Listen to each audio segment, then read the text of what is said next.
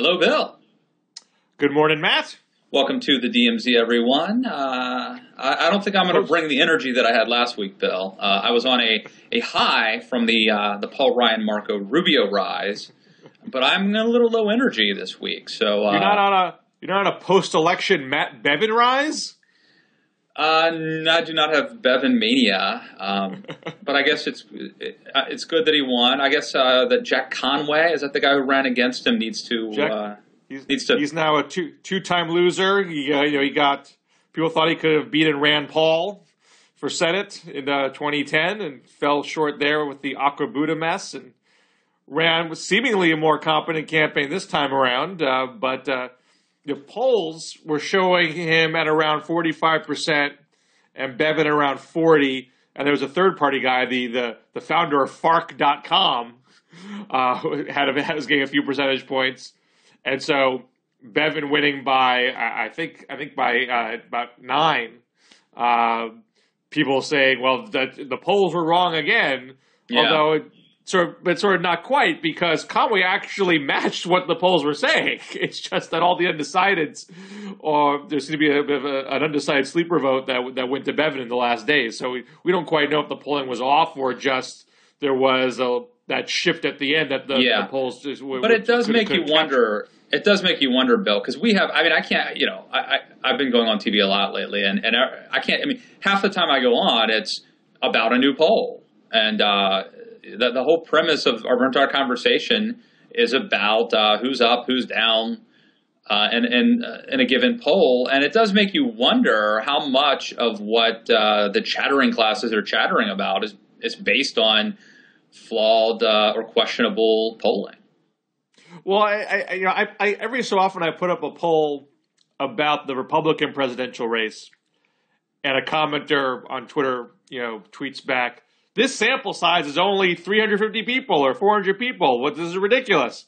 And I remind them, you know, every primary poll that you have seen this entire year, uh, you know, almost to a fault, is around is between 300 and 400 people. I've, I've seen some with less than 300. I mean, I think typical, you know, 300, 400 is what I'm seeing because you tend to do a national poll around a thousand or so. Shouldn't it be? I mean, shouldn't it be 500 people to be? Uh, um, you know, accurate, statistically accurate? Isn't that well, sort of well, the these polls have accepted? They all have wide margins of error because the sample sizes are smaller. So you tend to see a lot of plus or minus five, plus or minus six if you read the fine print. Um, but you you generally are seeing national polls done with sample sizes around a thousand. Yeah. But then a subsample of the Republicans and Republican leaners for the primary poll and a similar size to the Democratic poll. So you're dealing with subsamples. Right. Uh, you're not you're not seeing pollsters try to do a thousand person Republican only poll because if you're doing that, then you're, you're you're not doing a Democratic poll at the same time. Right. Uh, and then there's the the rise of the Survey Monkey poll being right. reported on you know national uh, media outlets. Yeah, M- NBC has not not all the NBC polls are Survey Monkey polls. They have done partnerships with Survey Monkey for the immediate uh, post debate polling. Uh, I mean, and this is not meant to be um, like an online survey, like at your your local newspaper site, where it's completely unscientific. These are meant to be scientific online polls, but it's new methodology, and I feel the numbers for those polls have been a little bit different than the other polls that we've seen. Doesn't this mean that maybe they're more right than the other polls? I have no idea, um, but you're seeing um, there, there's certainly questions to raise whether you know how accurate a picture are, are you getting, and of course you never can really pr- fully test it because you could be accurate in October. Doesn't mean that that's going to be the result in February because all sorts of different things are going to happen if people yeah. make up their minds late. And, but the know, problem yeah. being when when a lot of political commentary is premised on poll numbers, you have a situation where um, uh, that's actually how do I put this? Um, so okay, so in, in sports, let's say if if sports announcers or sports commentators are biased and they're rooting for the Redskins against the Cowboys, it doesn't really matter because on the field is what matters, and the, as long as the referees are unbiased, it doesn't really matter what is said during the broadcast. But in politics, um, it does matter what the the framing and the premise of questions, and this goes to the debate issue as well, the RNC not liking the debate moderators. It really does matter what the commentary says because the commentary actually can affect the players on the game because the referees are we the people, and uh, so ultimately, um, isn't there a, a problem if if so much of our commentary is based on polls that you could have a a situation where bad polls become a self fulfilling prophecy. If people think Trump is going to win, whether he really is or not, um, then that becomes a self fulfilling prophecy because of the bandwagon effect. Well, I I feel like that that complaint we I feel I heard more in past years uh, that the media narrative is not giving insurgent candidates a chance, and you're kind of getting some of that now with uh, so the hardcore Bernie Sanders fans, you know, well, we go, all the Insta polls said Bernie won the, the, debate, but the media said Hillary won the debate, and now Hillary's doing better in the polls. Well, that's that's not fair.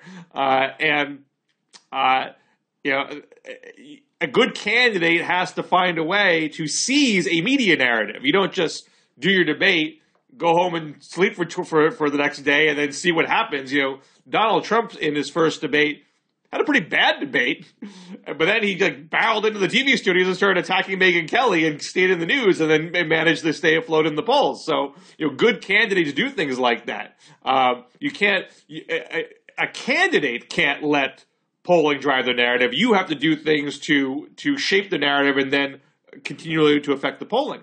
I, I feel yeah. though in more recent uh, months we're seeing uh, the public not swayed by polls, almost going out of their way to say, "I'm not going to let the polls decide what I say."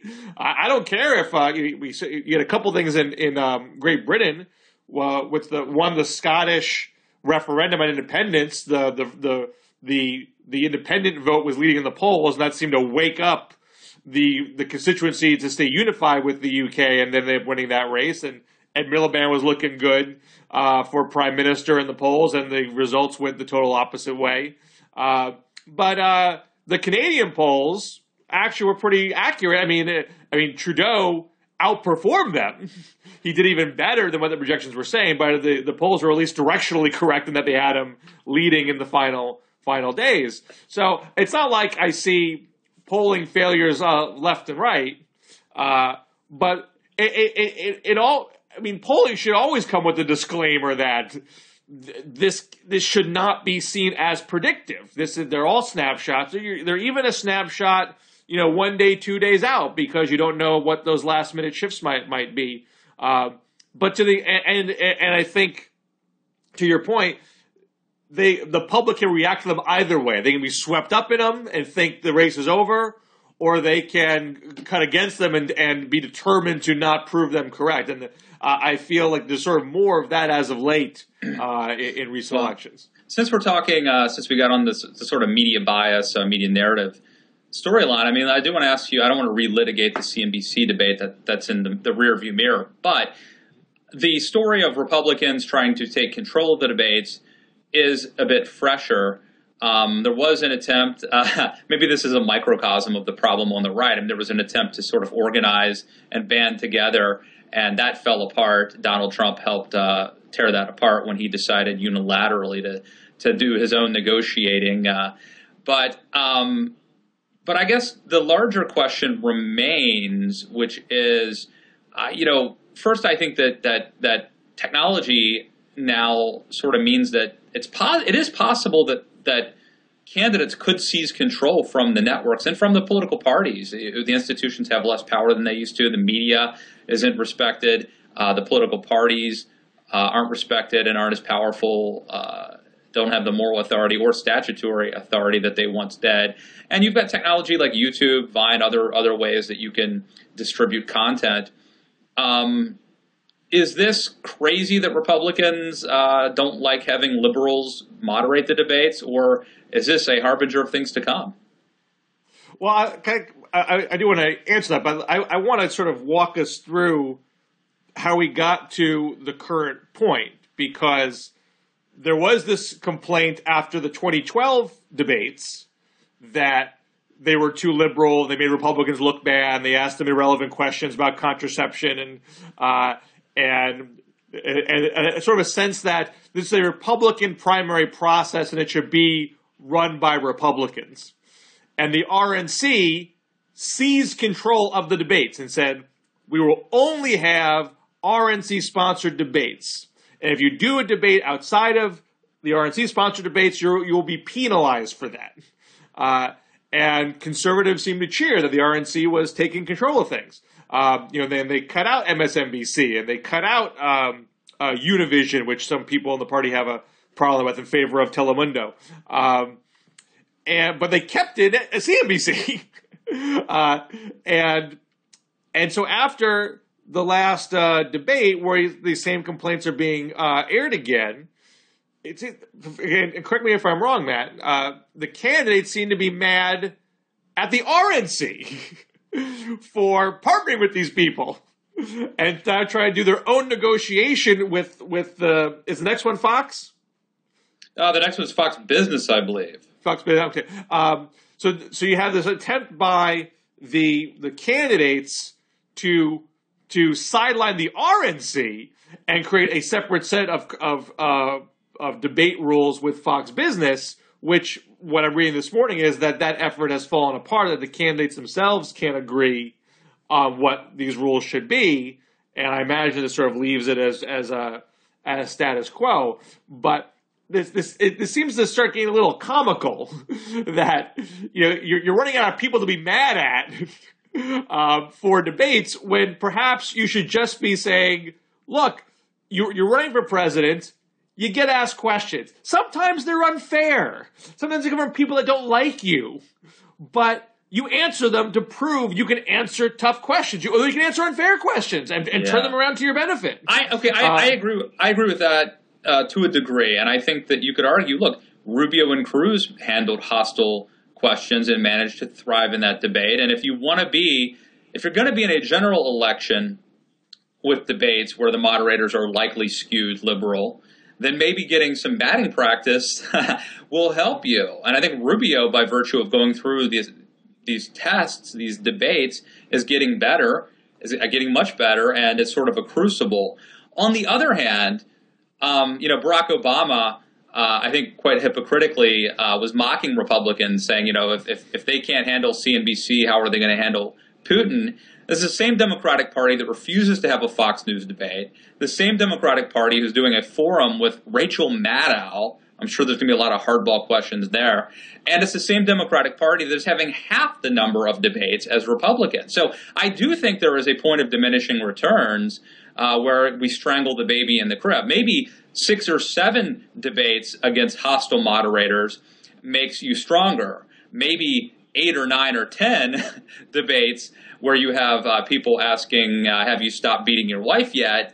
begins to actually hurt the Republican candidate's chances of winning a general election. Well, uh, I, I think you have a point in that you know Democrats in 2008 definitely had there was an uprising against Fox, saying, "Look, this is not a this is not a news outlet. This is a, this is a Republican organ. They don't want you to win at the end of the day, and you should not legitimize their network by appearing on them." Uh, you could make the case that look, they should just do it anyway and prove they can they can take the heat, uh, uh, but they didn't. And but they did do 26 debates in 2008. Um, and, they, and, they, and, they, weren't softball debates. They, they, there was plenty of, of mean questioning, plenty of cheap shots taken in those debates by by the moderators. It wasn't it, it wasn't Rachel Maddow debates, you know, from start to finish. Um, and you didn't see, you know, beyond the Fox debate, you didn't see additional complaining about the questioning beyond that. Well, I guess you got some from, from Hillary saying you're being too you're being too nice to Barack Obama, uh, but that's um, uh, uh, that, that, that sort of happens in these uh, campaigns. But she still did the debates. Uh, she didn't run away from them. Uh, so I, I don't think what happened with CNBC was like this parade of left wing propaganda you know, you know, John Harwood said to Marco Rubio, for example, this is one that keeps coming up. This in even uh, in our comment thread last week. You know, John Harwood said there's a tax foundation analysis that says you your tax plan does more for the wealthy than the middle class, And then Rubio said, that's not true. I do great things for the bottom 10%. He was talking past John Harwood there because Harwood wasn't talking about the bottom 10. He was talking about the middle. Uh, they talk, and they ended up talking past each other. Uh, John Harwood's allowed to ask that question. Know, that's, even if it's a question that's not fitting with Rubio's narrative, he's allowed to ask it and Rubio can answer however he wishes and the public can adjudicate the, the response. That's not, uh, that's not a subterfuge. That's that's that's the normal process of debate of, of, of presidential questioning. No, yeah, I, uh, but I wouldn't. But I, I, wouldn't. That wouldn't be my. Um, if I were looking to argue that the, the debate was biased or, uh, or, or salacious, I would not use that as my uh, example. I mean, I agree with you. What was, that, what was the question, worst example of the CNBC debate? I don't know. I mean, go back to what Ted Cruz said when he just sort of rattled off the litany of the last five or six questions where they asked, was it Donald Trump about his comic book campaign and things like that. I mean, it was essentially the tone uh, throughout the whole debate uh, was look at this clown car. And it was additionally, uh, and then, by the way, I, I think a part of the problem was that CNBC was just the tipping point. I mean, I think whether it was Fox or CNN, there's a growing frustration with an attempt to get ratings and almost an enjoyment out of getting these guys to fight with each other. And uh, it's like, well, uh, Rand Paul said this about you, Donald Trump. How do you respond to that? That kind of well, thing. But, that, but like, I mean, I agree completely that the kind of question your poll ratings are terrible. Why are you still running? I, I, I, hate that kind of question. You know, that doesn't that that that's a horse. I hate all horse race questions. You know, you're there to learn about the candidate's position, so I, the viewer, can think for myself who I want to support. I, I don't need to have this be an extension of a of a cable right. TV pundit roundtable. Uh, but I don't think that was unique to CNBC. I, I, feel all the debates do that all the time. Well, they uh, do, but I think that's part of, fundamentally part of the problem is that there, there are conflicts of interest. I mean, the Republican Party their goal should be um, to to have a debate that uh, that informs Republican voters um, and that makes it likely that the best Republican nominee will win, and that prepares that nominee uh, to win, to to be in a general election. But the incentive of of TV moderators is to get ratings, um, to uh, to to stir up controversy, to generate you know buzz. Uh, so they really have not only um, different uh, motives, but in some cases actually opposite motives or mutually exclusive goals. But, but I don't think that going for ratings is at counter purposes what the party wants. The party wants ratings. The party wants people to watch. The party wants this to be an entertaining uh, uh, event to attract uh, viewership and have people yeah. hear, the, hear their candidates. That's so, true, and that's the only no reason one wants I think a dry, you know, twelve point plan policy wonkery festival. Uh, so that, I mean, there's a, there's a balance, of course, between doing that and doing something that's just for sensationalism. But you need to have right. you, need to have some glitz and to, and to have questions and say Rand Paul said this about you. What do you say in response? I mean, that's that's that's that's total legitimate debate. A disagreement has been proffered in the in the campaigning let's have it out here and flesh out the differences so people can make a decision. That that to me is not is not well, cheap rating stunt. That's straight up debate. Well, again, I'm t- I'm torn on this. I, I'm torn because I do think that there is a downside to having uh, candidates perpetually asked um, wedge questions um, and having them uh, trotted out there for entertainment purposes, um, and, and and being asked questions by people who, even if they're not overtly biased, do not share their worldview. I think there is a like a long term downside to that that clearly is hurting the party and clearly hurting the chances of the nominee. On the other hand, I've got three hands here. On the other hand, I think the, on the other hand, I think like what really should happen is just limit it to five candidates uh, have them seated, and have a buzzer or a bell that that enforces time limits, and maybe increase the time limits by 30 seconds or something. So I, I think like simple reforms like that um, could uh, really would go a long way towards solving the real problem. And then the last hand, my third hand that I'll throw out is, I think there's a chance that this could go too far, right? So like while I resent the notion that that Republicans ought to have um, liberal moderators essentially, uh, you know, interfering and, and, and messing up these debates. The other extreme would be horrible, where where you basically have um, talk radio hosts um, doing it, or where the candidates get to pre-approve questions. You know, where where the media essentially um, becomes you know a, a, puppet, and where the candidates have too much control, and that the that doesn't that's not serving the public well either if they know what questions are coming and they get to decide the temperature of the room and what the graphics say about them. Um, that so this is really a weird uh, problem right now. And again i think it, it's it's coming about because of, of technological and cultural changes that are that are really changing. I mean the old days the parties and the networks when I did, even 20 years ago it would have been unthinkable that the candidates could have you know, seize control of something like this. Well, you know, Ted Cruz said the other day that if you haven't voted in a Republican primary, you should not be allowed to be a Republican primary debate moderator. Uh, I mean, and I and I don't think everyone has that kind of a strict standard, but there's definitely a growing sense that within the conservative uh, diaspora, correct me if I'm wrong, that it, it's it's sort of illegitimate to have a debate without some conservative uh, journalist or opinionator on the panel. That you need that for it to be a legitimate debate, which has never been the case uh, in our in our debate history. Uh, but it is. I mean, look, you in the old days, you know, this was all backroom stuff. That, that, the the the choosing of a nominee wasn't left to the people at large, even in the right in this even sense of registered Republicans, uh, but it was done by the party, uh, and it's only you know, relatively new, historically speaking, that this is somewhat yeah. of an open sourced process. But there were good sides to that bill, and as uh, sacrilegious as it sounds to say, the, um, these are double edged swords, and.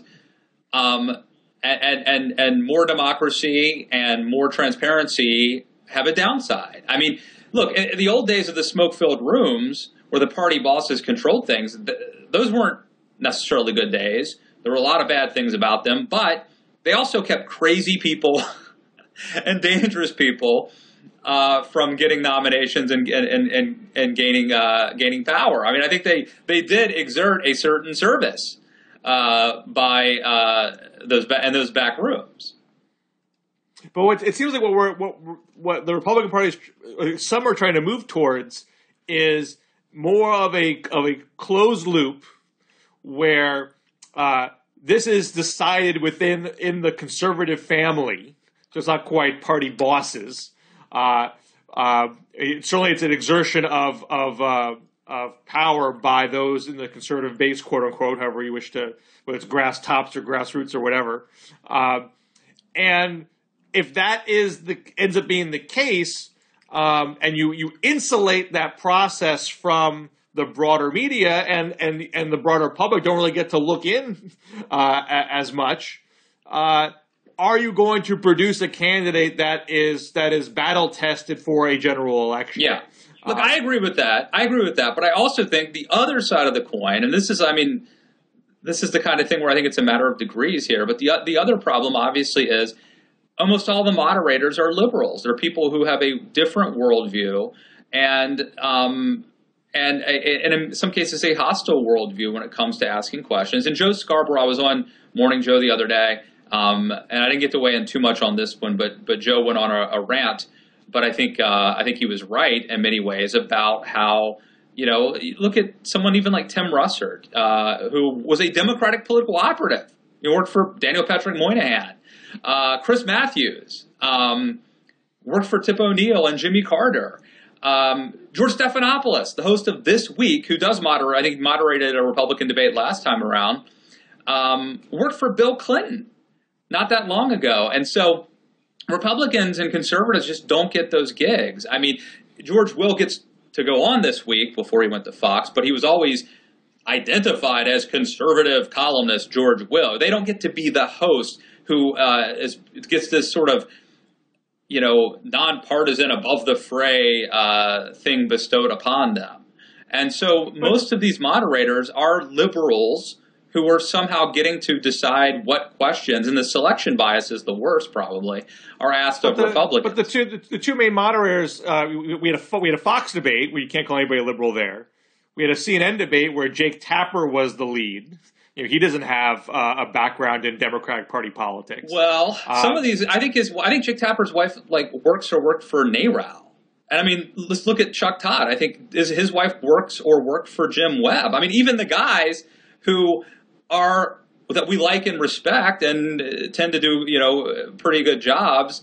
If they if they're not former, and by the way, Jake Tapper didn't he write for? Uh, didn't he? Wasn't he originally a writer for like He was for Salon. He was for Salon? I mean, is there a Yeah. more liberal outlet than Salon? I mean, Jake Well, I- Tapper's I a don't- good. but Jake Tapper's a good Jake, journalist. Jake don't get me Tapper does not. Jake does not function in any way, shape, or form as as a House liberal at CNN. I'm not saying It- I, I'm not saying he does. What I'm saying is your best example that you just cited, who I think is a good journalist, is somebody who worked at Salon and who's I, I think I'm pretty sure it's saying his wife works or worked for NARAL. Well, uh, I- I'm go not- check I mean, that before you quote me on I mean, but there, there's a difference between uh, having some uh, liberal sympathies uh, in your background and functioning as a professional journalist. I mean, Well, look, I think I, mean, look, I think I'm a fair and and uh, thoughtful journalist, and you know, my wife is a uh, Republican fundraiser, a political consultant. So, I mean, I, I'm going to be the last guy to say that these guys are are disqualified. I'm just saying that, like, it seems that disproportionately, the people moderating uh, or or you know these debates are people who um, have a liberal worldview that is part of who they are. I mean, I'm not saying But- that they try to bias debates. And some of them might even some of them might even overcompensate on occasion to get past their background. But even if uh, even if you don't like that fact, I mean, e- e- the CNN debate also included Hugh Hewitt, and the and the CNBC debate included Rick Santelli. I mean, it's not like there wasn't representation. That that's more representation than you normally get from you know movement conservatives than than is normal at a debate. But that's Uh, a process. But that was a process of the Hugh Hewitt thing's a process of the RNC trying to prevent this from happening. And Hugh's great. He wrote the foreword to my book, and I hope he has more um, involvement in, in upcoming debates. Um, but in that one debate, what did he get? Maybe five minutes out of like a three-hour debate, maybe. I mean, well, I, think that's where we are right now, where you, you, you, you give an inch and you want a mile. So the conservatives are saying, are saying we want to have the, the conservative journalists be the dominant function, the dominant role in these debates, and not have uh, the the so-called liberal media run the show. So that's uh, that's where we are. That's where they're, All they're you got towards. me. I was I was low energy before we started this, but since we've started, I've drank a lot of coffee and uh, and I've gotten riled up about liberal media bias. So Okay, well, I'm gonna I, I'm, I'm gonna go in for the for the kill now. Then, all right. um, so it's been a, it's been a week since the the last Republican debate, where obviously the media was very praiseworthy of, of Marco Rubio. This to go, go into our earlier discussion about you know media reaction versus public reaction.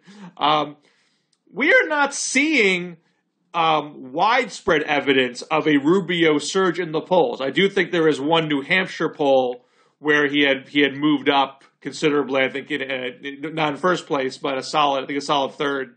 Um, but the national polling I've seen, he hasn't really budged. Um, Carson is leading most of these polls now.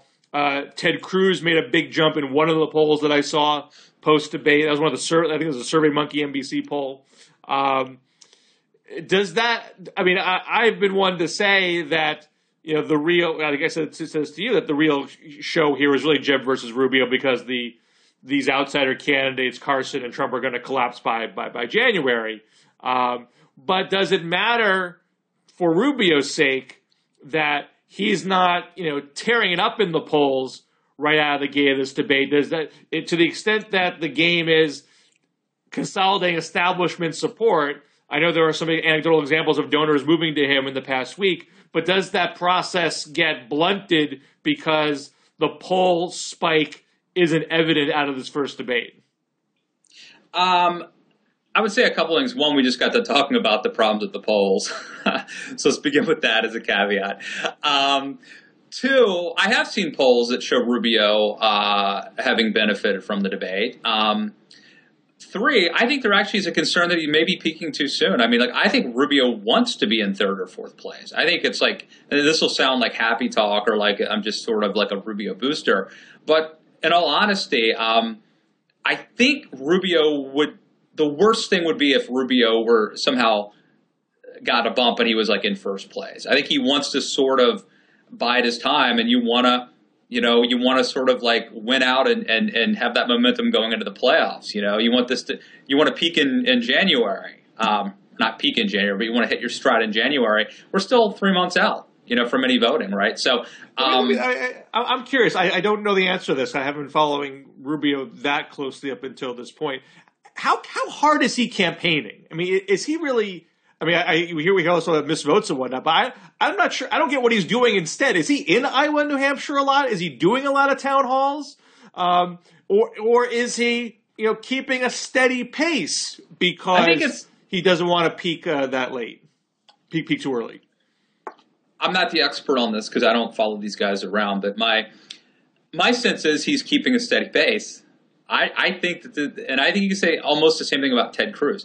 I think that that they have made a, a calculated decision um, to um, to keep. I think a steady pace is a really good way of, of putting it. I, I, think that they have um, that that they have intentionally been running this kind of campaign. Um, so maybe it'll be a huge mistake. But if you look at Scott Walker and somebody who said go big or go home, and he went home. I think Rubio and Cruz too are sort of uh, maybe smart. The kind of stealth uh, campaigns they're they're building, sort of solid campaigns uh, without, um, you know, without uh, peaking too early. So. Well, I mean, you know, when uh, when John, I mean, I, I talked about the John Kerry parallels uh, in one of our earlier shows. You know, when Kerry won Iowa seemingly out of nowhere I think one of his backers said, you know, the you know the mantra is uh, organize, organize, organize, and get hot at the end. Yeah. Um, and I, I, guess I don't I don't know you know how good is Rubio organized. I think it's hard to know from the outside. You know, people trash talk about their ground game, but you really don't know who really has it till till the game is played. Uh, but uh, you know, Je- you know, people say, well, Jeb's running into the Scott Walker mistake because he's always cutting staff and cutting salaries and whatnot. Um, but is it possible that he has invested in some ground game already that can pay off later, and that other candidates, particularly Rubio, uh, if they haven't put that money and didn't have the money to put in to those operations earlier, they they can't be they, they can't be built at the last minute. Well, it's interesting. I mean, I, I have heard about Cruz doing interesting things, like really focusing on the South, the Deep South, um, and on like Puerto Rico and, and places like that, um, sort of employing an, uh, an interesting, almost Obama-like uh, campaign to win primaries and, and states that others might overlook, and to score delegates. In the case of Rubio, I um, I don't know about the the ground game or the infrastructure per se, but I really I do get the impression that they are intentionally um, taking it sort of calm and in stride and just sort of the um the added you know I've talked to his people off the record and I mean without betraying anything. I mean the sense I get is like it's you just show up every day and do your job and you don't worry about what other people are doing. You just show up every day and do what you what your plan calls for you to do and then good things will happen. That that's the mentality. That's the philosophy they're just playing their own game. They're not worried about raising the most money. Uh, they're not worried about um, you know winning a given media saying something crazy so that they win today's media cycle. Um, that they're focused sort of long term, building slow and steady, and just show up every day and do the work. That's the impression that I get. And they've been saying this for months now, before he, you know, long before this last debate, before he peaked and uh, long enough now that it, that it, I'm convinced that it's sort of manifesting the uh, the seeds that they're that they've planted. Uh, you know, the the vision. There's a method to the madness, and, and I think the vision is is sort of uh, coming true. Uh, I'm inclined to leave it there because I, I got to Yeah. jump to a. We can leave it in a minute, But, but is there anything else you want to add before we go? Uh, there's a lot we could talk about, Bill, but I think we've uh, I think we've given given the public uh, more than enough at this point. So we don't want them to get too uh, too greedy. You know, they they, No. they, they, they, they, they take what we give them, and they Yeah. like it. the scraps. uh, no, that's it. Check out uh, you know check us out. Uh, what, what do you anything you want to plug, Bill? What are you writing when you're working? Uh, I think I got I got nothing to plug. Um, right. I, I got I got I'm empty.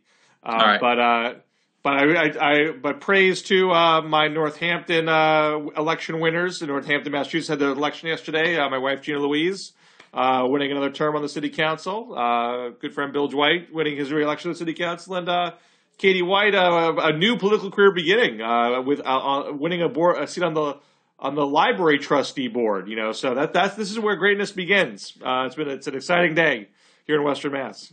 Excellent. Well, congrats on that. Uh, pre-order my book, Too Dumb to Fail.